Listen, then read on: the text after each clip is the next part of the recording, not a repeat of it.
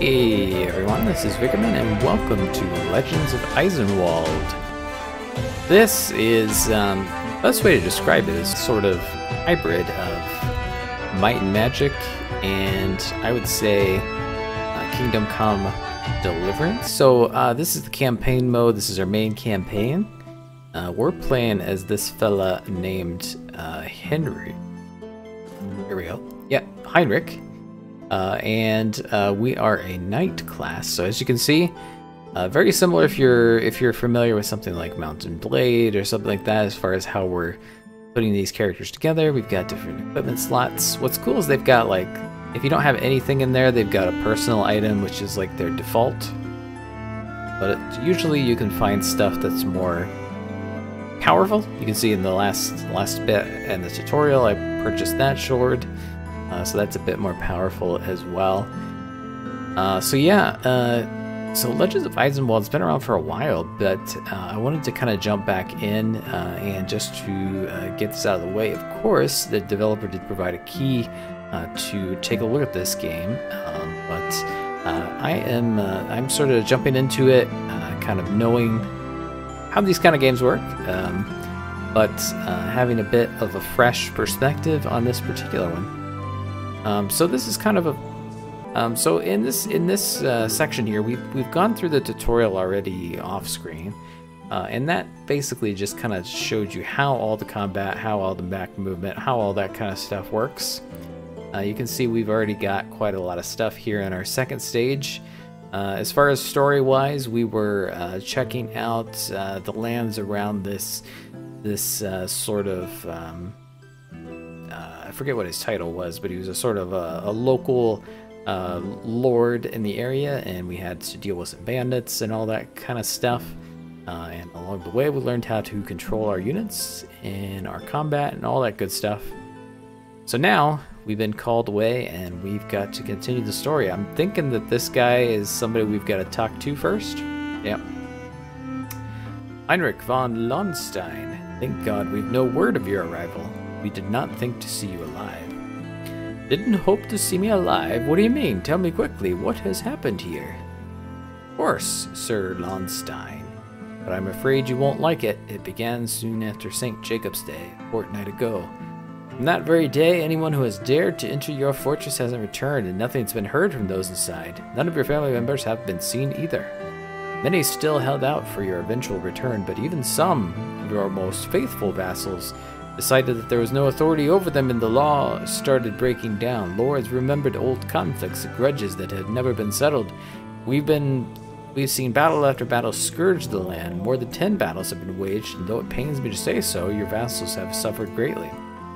Uh, moreover, there are strange folk of evil continents about. They are said to be ducal servants or Bavarian mercenary rebels, hired by the Landgrave of West Rothwald. Ill deeds await those upon the roads for peasants and merchants alike.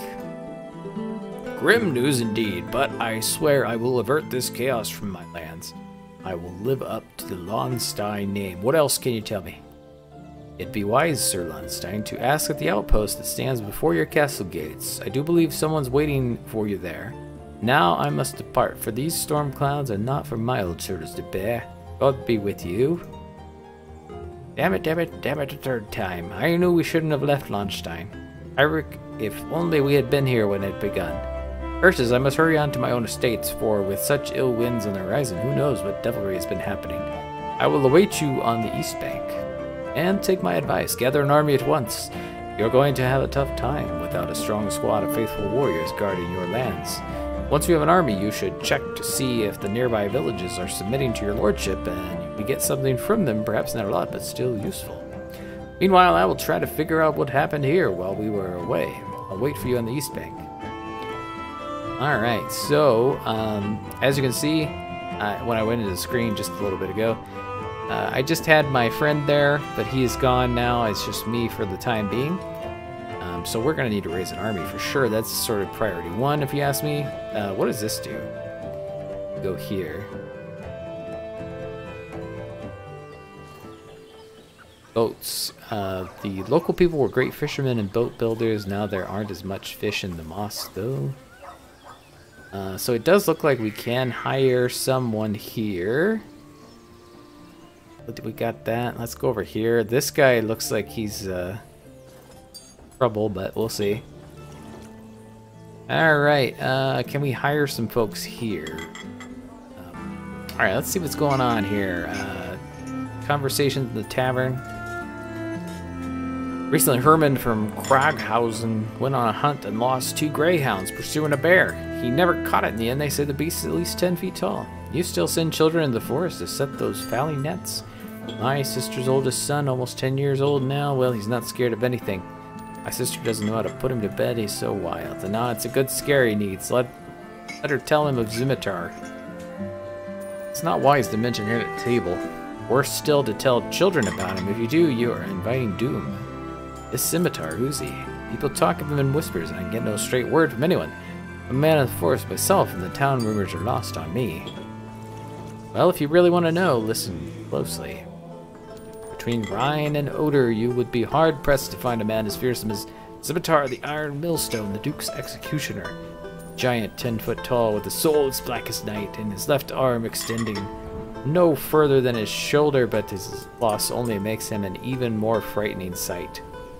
This is what the people say about him. Thirty years ago, Zimitar wanted to marry a girl named Jennifer. His wealth promised her a good dowry, but the girl loved another, Linhart, brave young knight. Jennifer's brother disliked Linhart and made arrangements for her to wed the executioner.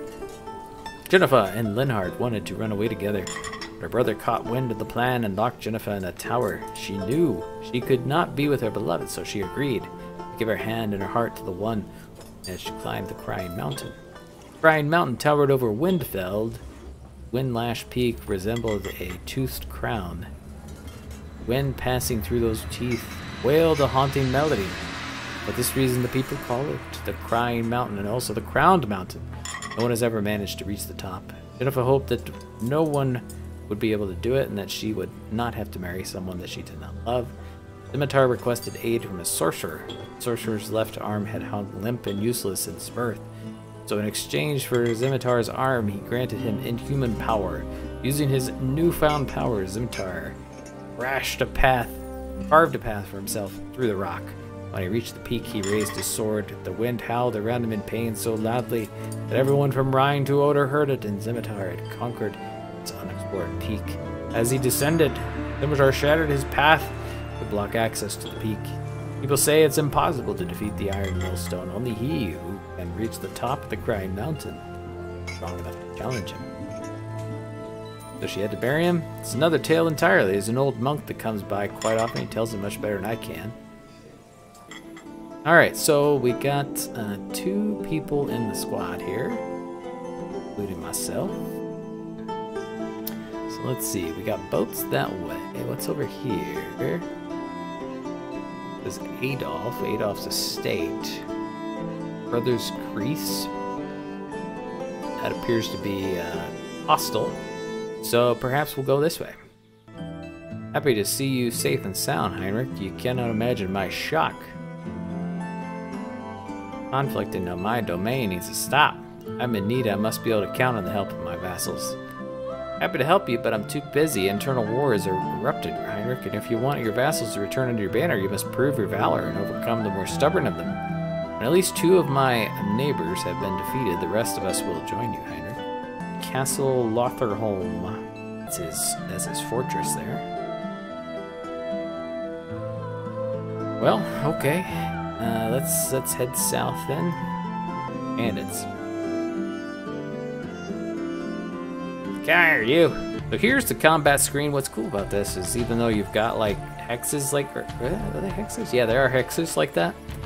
Um, it appears to be that uh, you can basically uh, click anyone that you can actually get to. You know, it's that somebody isn't behind them because there are different ranks. You know, there can be people behind.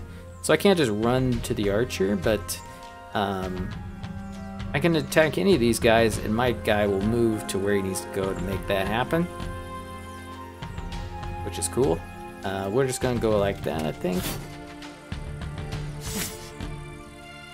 That was a pretty good hit right there. Let's see if we can take him out. And now you come up there with your mace. Lightly stunned. Alright, Heinrich. Stab that guy. This is kind of how this works. Um, this, these are like the simplest units. We just got melee units on both sides. And the remaining enemies have surrendered, which is good. Uh, got some experience, uh, seven gold. Not great, but you know, whatever. That, that'll be fine. Um, so yeah, that, that's how it works. Uh, obviously, there's also archers. Uh, there's healers. There's priests, which is a different unit. They're more of a support unit, whereas the healer is more of a actual healer. All right, it looks like maybe this is my my actual holding here. So let's go and see. All right, we can heal people, which we should probably do that. Makes sense. Uh, we can recruit some folks. Oh, there we go. We right click, we can see what's going on here. So this is an archer. Definitely want one of those. Uh, these are more peasant type of guys. Uh, this guy, well, let's let's maybe see if we can get one more peasant. And you can see we've got five of five. Our mercenaries don't count, um, but all right. So yeah, this is uh, trade. We can see so five of five right now. Once we get more holdings, we'll be able to field more regular army units. Uh, you can see the mercenaries give us, uh, they actually have a cost associated with them per turn, whereas the regular units do not. However, the regular units are limited. So that's sort of the thing you got to figure out. Eventually we might get rid of this guy, but for the time being, we might as well leave him around because yeah, it just just, just kind of makes sense. Uh, let's head over here just to see what's going on. See if we can, well, see if we can pick up a priest. We may have to let go one of these guys. The abbot from the evil people. Nothing's known about them except they're evil. Known for sure they're evil. I tell you, it's been proven many times. The gang's making for the monastery right now, and obviously not to take monastic vows. We won't hold out without your help, Henrik. Stephen, Tordark, come here quick, stand for the monastery, together with Heinrich von Lahnstein. Sure enough.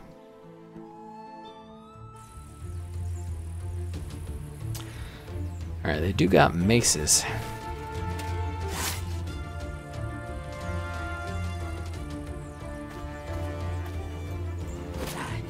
Whammo. Alright.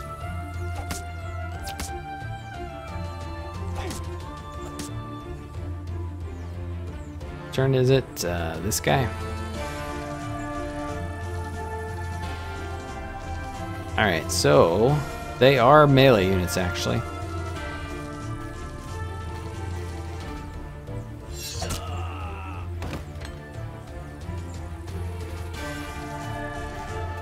Pretty, pretty high DPS there. I imagine they're really, really squishy though. Whose turn is it? Oh, yours. You can't even get there. uh, you can't do it either. Oops. I thought you were one of mine. Sorry.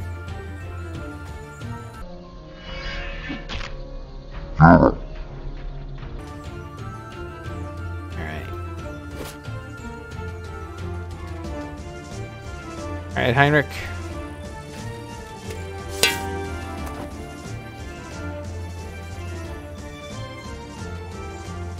Can't do anything there.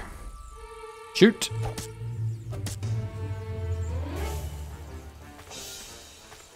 Knock him out.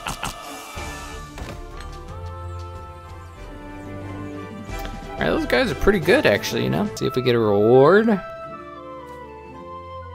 Ah, take the ointment to heal your people's wounds.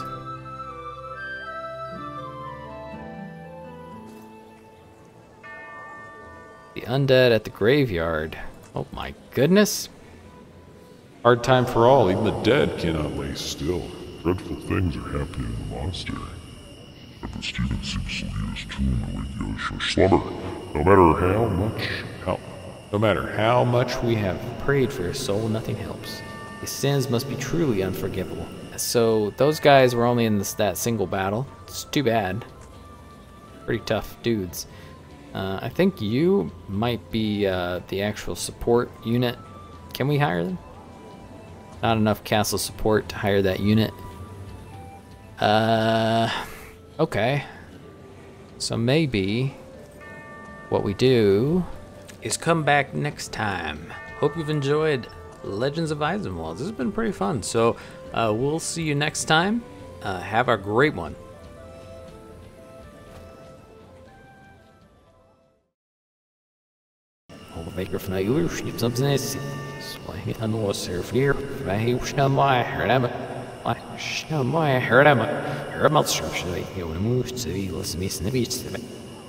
Hier is get of flirt.